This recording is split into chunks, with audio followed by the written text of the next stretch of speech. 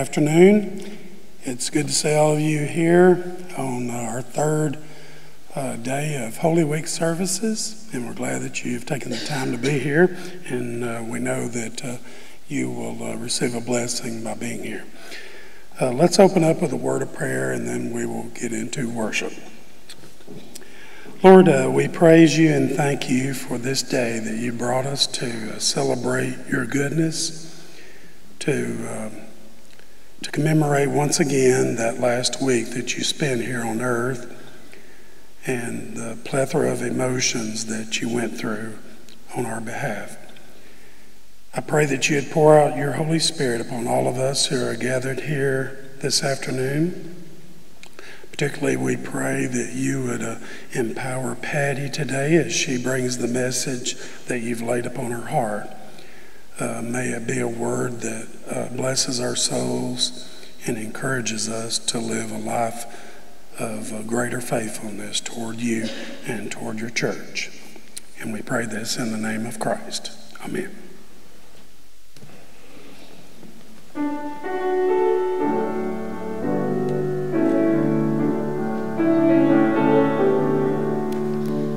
Only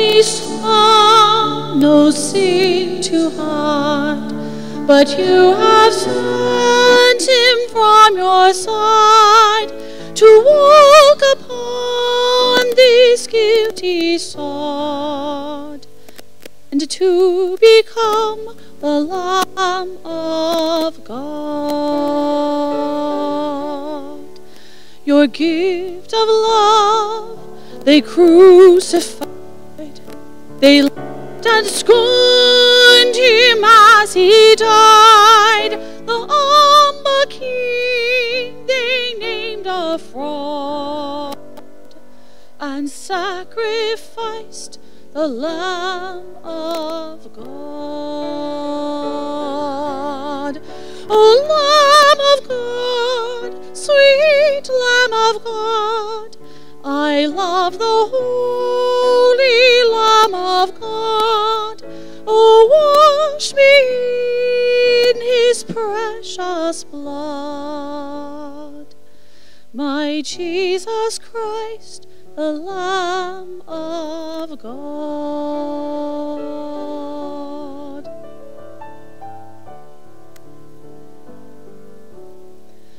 I was so lost, I should have but you have brought me to your side to be led by your staff and rod, and to be called a Lamb of God. A Lamb of God, sweet Lamb of God, I love the holy Lamb of God. Oh, wash me in his precious blood. My Jesus Christ, the Lamb of God. My Jesus Christ, the Lamb of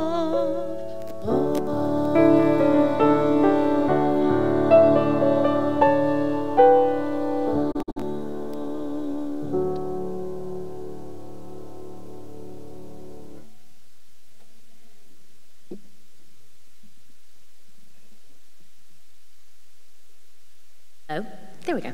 Thank you to Crystal. Parker was supposed to sing for us today, but he is not feeling well, so she left her class for just a few minutes to come over here and sing for us.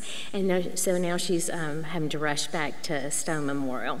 But um, thank you, Crystal. It was lovely.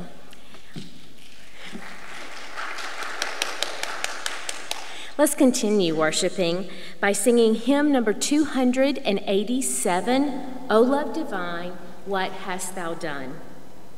And let's stand.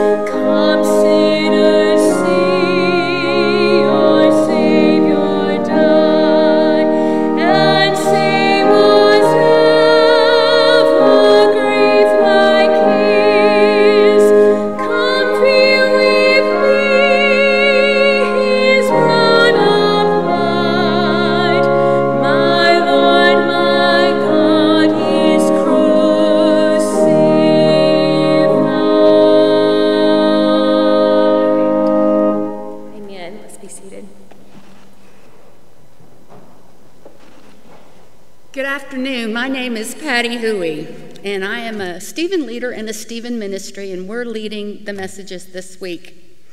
I thank you all for being here. Today, I wanted to talk about community. Um, we hear a lot about community, we hear a lot about anti community. Somebody's always bashing somebody on social media, um, the back and forth, the intolerance. And we think, what has this world come to? This is horrible. What, what is happening to us? But I want to tell you, we are no more or no less sinful than those back in Jesus' time. History repeats itself. And so I had an exercise in a class I took um, a couple, well, four years ago. And one of the things was about fleshing out Bible verses. And this appealed to me because the whole idea of being a storyteller appeals to me and using my imagination. So my scripture today is John chapter 12 and it's 1 through 7. Six days before Passover, Jesus went back to Bethany, where he had raised Lazarus from death. A meal had been prepared for Jesus. Martha was doing the serving, and Lazarus himself was there. Mary took a very expensive bottle of perfume and poured it on Jesus' feet. She wiped them with her hair, and the sweet smell of the perfume filled the house. A disciple named Judas Iscariot was there, and he was the one who was going to betray Jesus. And he asked, Why wasn't this perfume sold for 300 silver coins and the money given to the poor? Judas did not really care for the poor. He asked this because he carried the money bag and sometimes would steal from it. Jesus replied, Leave her alone. She has kept this perfume for the day of my burial. You will always have the poor with you, but you, you won't always have me. Now, when I was a kid, I just, you know, the disciples were elevated in my mind. They were special people. And I didn't really get um, just how wrong they could be, even after seeing miracle after miracle. And I think this says a lot about us as people. Um, we, community is so important to us, and Jesus held it as, as important because he encouraged his disciples to live in it with him. It's easy for us to get offended and afraid because we think nothing else has happened like this before, and we're the first ones to experience anything negative. But it's far from the truth. Now, I'm going to take an imaginative turn through John 12, those first seven verses. Jesus and his disciples have come to a special dinner party hosted by Lazarus and his sisters, Martha and Mary. Lazarus reclines with Jesus, his special honored guest, on cushions before a low dining table. Scattered about are the disciples in groups of two or three, talking in low tones amongst themselves. Martha is in the kitchen preparing the meal. Mary wanders about the great room, her focus on Jesus, and she is thinking about the wondrous gift she plans to give Jesus tonight. And she's very excited and nervous. Martha, in contrast, is filled with pride for the meal she is preparing for the honored guest. She's also annoyed with Mary, who once again is not helping her very much, but she won't say anything because the last time she said anything, Jesus rebuked her. Lazarus is in a comfortable conversation with Jesus, but he's distracted from time to time with thoughts about how he had died, but then was brought back to life by the man sitting right next to him. Lazarus also pushes back memories of that time There's images of things he doesn't understand, and those images disturb him. Mary brings out her gift of fragrant oil and anoints Jesus' head and feet, and then nervously takes down her hair in front of a room full of men who were not related to her. A blatantly intimate act, usually between a husband and a wife. And then, in an exponentially more intimate act, wipes Jesus' feet with her hair, wipes them clean of dirt, sweat, and excess oil with her hair. The disciples are gobsmacked, as well as Lazarus and Martha. All are uncomfortable, extremely uncomfortable. What are they witnessing? Only Judas speaks up. He is jealous of Mary's devotion. He questions her gift, self righteously asserting how the cost of such a gift could benefit the poor if put into the disciples' fund. Of course, Judas is, is in charge of that fund, of disbursements from it, and he is calculating how much of the cost of that oil he could embezzle. For the first time all evening, Peter is jolted from his jealousy of Lazarus spending, spending time one on one with Jesus. Peter longs to be the one at Jesus' side and in front of everyone else. He has spent all evening receiving what he thinks are smirking looks from the other disciples because once again, Peter is not the right hand of Jesus. He regrets bringing his status up so often with the other disciples. Jesus certainly doesn't honor Peter's status tonight. Whatever the other disciples had been talking about earlier is blasted from their minds when smelling the sweet scent of the oil that Mary anoints Jesus with. They look up to see her taking down her hair. They've all thought that Mary is secretly in love with Jesus. Jesus speaks too intimately with her. She is so impulsive, and most think she's in love with Jesus and would marry him if he asked. When Judas speaks out, they smirk to themselves because his thievery is common knowledge. Each of them are secretly glad when Judas is rebuked and relieved that they didn't speak out against Mary first.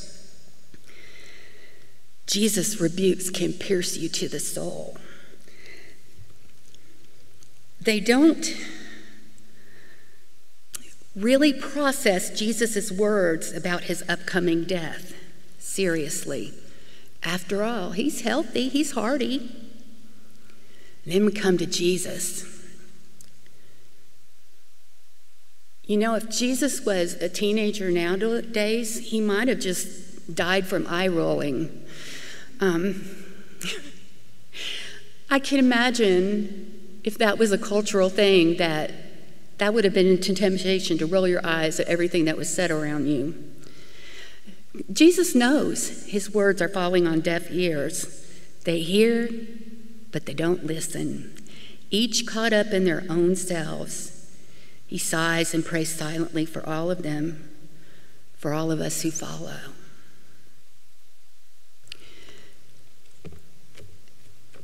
I don't think a community nowadays is really very different from a, community back in the day. Sometimes we're a good community, sometimes we fail horribly. Sometimes we spend time just voicing our our unhappiness that others don't think like we do.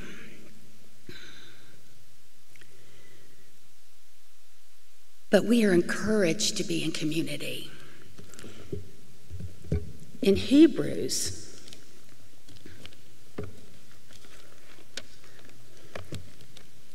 well, well, lost my place here. There it is. In Hebrews chapter 10, verse 24 through 25, we should keep on encouraging each other to be thoughtful and to do helpful things. Some people have gotten out of the habit of meeting for worship. Is that not true about today? But we must not do that. We should keep on encouraging each other, especially since you know that the day of the Lord's coming is getting closer. And look, I know we have been isolated for the pandemic, for a time during the, end, the pandemic, and one gets used to being by oneself, doesn't? Don't you? And sometimes being in communities can be uncomfortable. I mean, people say the most annoying things. And sometimes when we're isolated and then we're hearing all the negativity on news feeds, we further isolate our inner selves. Now, um, I remember the first time I came back for a small group for choir. It was the first time we were back singing, just the few of us, because we were all spaced and masked and everything. And I, I live alone. I have cats, I have a dog. My dog does not bark. So there's not just like a great deal of loud noise in the house that I get into.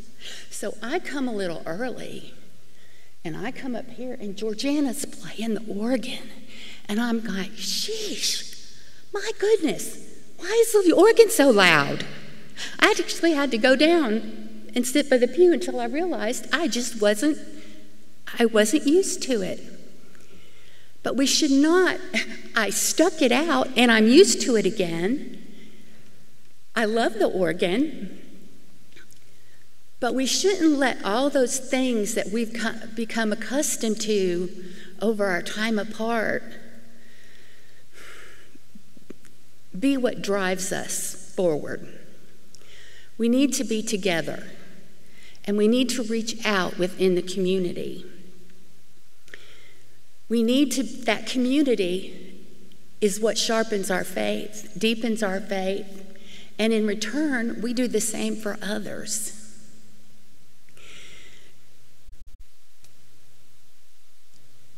Community is difficult, but it's what Jesus wanted us to be in. He didn't encourage us to all go be hermits to stay away. Just find it easier not to get up and go. Goodness knows that's been my, my struggle many times. The other day I was visiting my grandson and I found it was the front of a greeting card that my daughter in law had put up on the refrigerator and it was called How to Build Community. And I thought, wow, this is really appropriate for next week.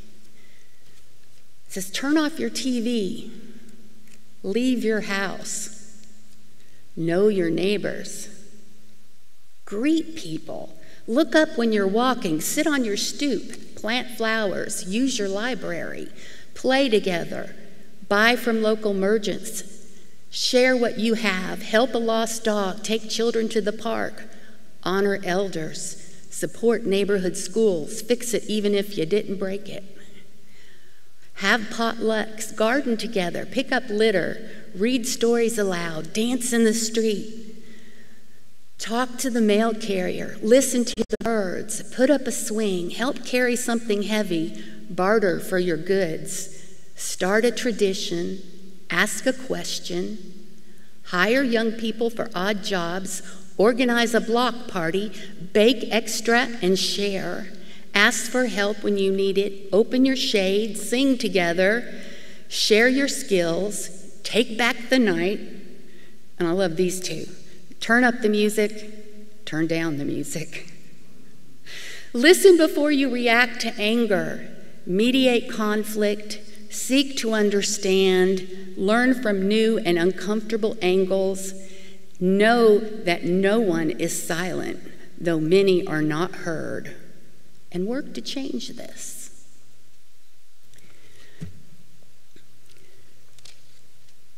In the last couple of years, well, really, for the last five years, my community has meant so much for, to me. Y'all have helped me when I was at my lowest You built me up. You carried me. And you did it really without even thinking about it. You just reached out. And it built in me a need to reach out too and, and to see that our connections to each other are more important than most of the things I think are important in my life. I'm trying to change my mindset. I'm working hard on it.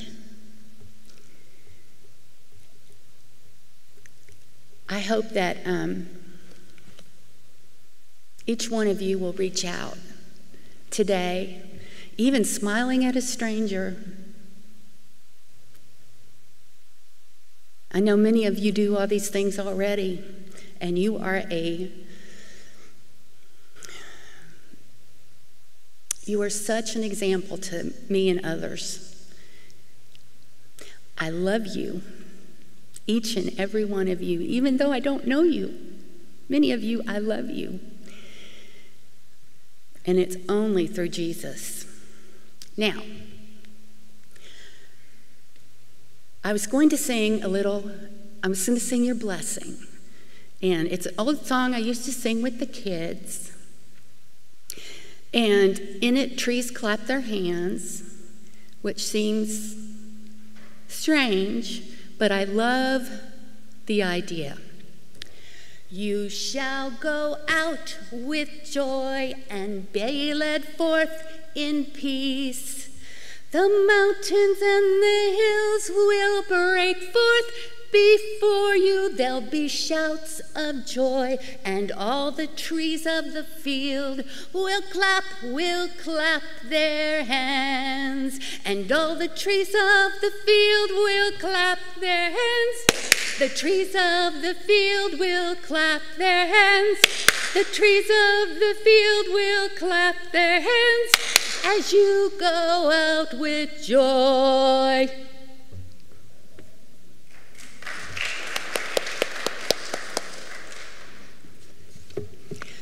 Lord, prepare us for this next the next day, prepare us for the rest of the day. Be with us 24 um, 7.